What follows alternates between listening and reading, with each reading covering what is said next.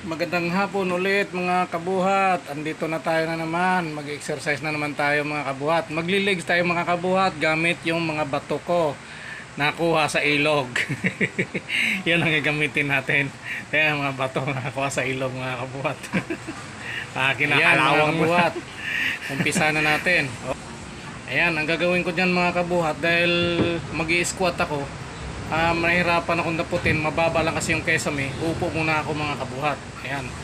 Tapos, ah dadamputin ko yung barbell na gawa sa bato na nakuha ko sa ilog. Ayan mga kabuhat, dadamputin ko. Hop. Yun, ilalagay ko ngayon sa likod. Yan. Ilalagay ko dyan sa batok. Saka, ako magyuyuko. Oh, hindi pala mag squat Yun, mga kabuhat. Mahirap yan. Yun. Ah, sampung beses mga kabuhat. Tapos apat na reps. Ah, bago pala sa lahat mga kabuhat, shoutout pala sa mga bagong subscribers. Sila Marco, si Clarence, saka yung mga kaibigan nila Marco at Clarence, saka si Vincent. Mga kabuhat, nag-subscribe sa akin kaninang umaga. Saka sila Audrey, saka mga anak ko, shoutout pala sa pagsuporta sa akin na pinapanood lagi aking mga video, saka yung misis ko ang nag-iisang mahal kong misis na nanonood lagi sa aking video, sinusuportahan. Ah, maraming maraming salamat sa inyong lahat. Ayan. Tapos na ako mag mag squat. Ilalagay ko na ulit 'yan. Saka ano ba gagawin ko sunod dito mga kabuhat dahil titingin-tingin muna eh. Ah, ang alam ko magde-deadlift ako mga kabuhat. Ang alam ko magde-deadlift ako dito tapos dadagdagan ko ng weights na yung maliliit na dumbbell ko na gawa ulit sa bato. Ayan. Yan idadagdag ko kabilaan yan. Hindi lang gaano makita mga kabuhat dahil walang stand yung cellphone lang ang gamit ko kasi mga kabuhat eh wala pa tayong kwan eh pera eh. Ayan mga kabuhat eh oh. Dinagdagan ko yan. Yan mga kabuhat. Ah, shoutout din pala sa mga kaklase ng anak ko sa Maynila. Na si Alyona Pay Lumugdat saka yung mga kaklase niya nag-subscribe sa akin. Tatlong kaklase doon yan subscribe sa akin. Hindi ko pa kilala sila pero shoutout sa inyo at maraming salamat. Ah, ayan mga kabuhat, magde-deadlift ako ng light lang. Yun.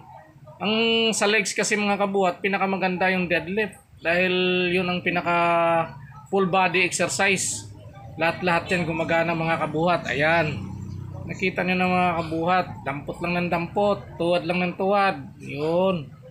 Ayan, tuwad lang ng tuwad. Yun mga kabuhat. Ayan o. Malapit na ako makatapos dyan sa pagdi-deadlift. Yun, nilagay ko ng mga kabuhat. Ah, gagawa ako ng isang exercise dyan eh na magaan lang. Ah, magaan lang na exercise mga kabuhat. Ah, kailangan kasi natin na mag-exercise talaga lalo yung sa legs natin. Para hindi sumakit yung mga tuhod, kailangan na exercise lagi yan mga kabuhat. Kahit matanda na tayo, pwede tayong mag-exercise niyan. Yung magagaan lang, hindi yung mabibigat. Kasi pang mabigat, baka naman ang mga buto-buto, magka-injury. Ay mahirap na ma-injury pag matanda ka na, hindi na bumabalik. Madalang na madalang bumalik yon Gagastos ka.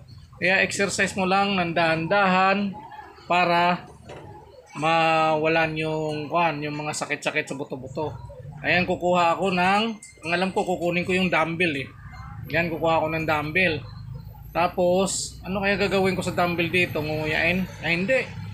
Ah, eh, Romanian. Romanian close. Hindi siya wide. Close lang. Kasi nahirapan ako mag-wide kaya close lang. Yon Romanian. Romanian squat yan mga kabuhat. Pero close lang siya. Parang paupo-upo lang siya na para kang natatae. Ayun. Yun, ganyan lang siya mga kabuhat.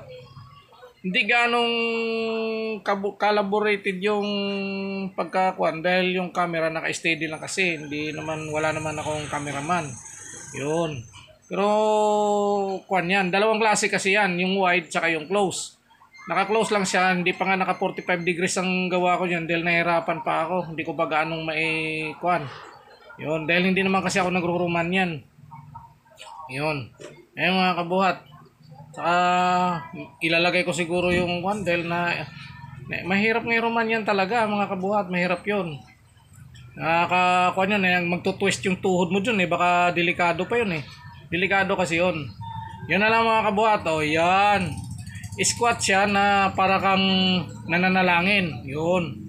Hawak-hawak mo yung palad mo. Dapat yan may dumbbell eh. Magaan kasi yung dumbbell eh. Hindi ganong, hindi ako satisfied eh. Dahil gawa lang sa bato. Yun. Ang ginagawa ko, habang nag-squat ako, nananalangin na lang ako. Yun. Close. Merong close, merong wide. Tapos close, wide, close, wide. Ganun ang mga kabuhat ang ginawa ko dyan. Tingnan mo mga buhat, papakita ko sa inyo. Yun, close. Ayo, ah, wide, close. Tapos, wide. Oh.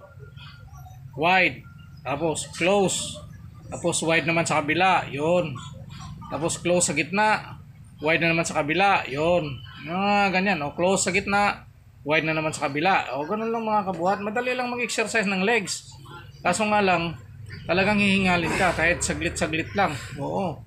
Ang kwan dyan mga kabuhat, tig 10 lang. Pag 10, apat na repetition lang. Ganun lang talaga mga kabuhat uh, medyo yarin na ako mga kabuhat yun oh. lumaki na ilong ko parang humihingal